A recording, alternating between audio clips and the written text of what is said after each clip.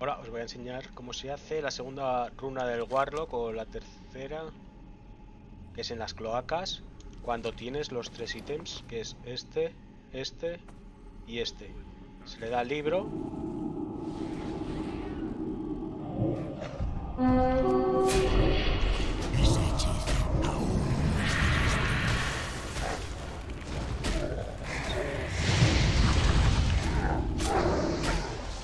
Mata al bicho. Coge la runa. Ya está.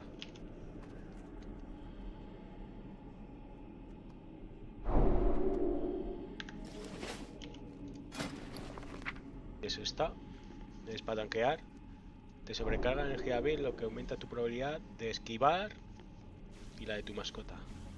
Y la probabilidad de asestar golpes críticos con todos tus ataques un 30%. Es para los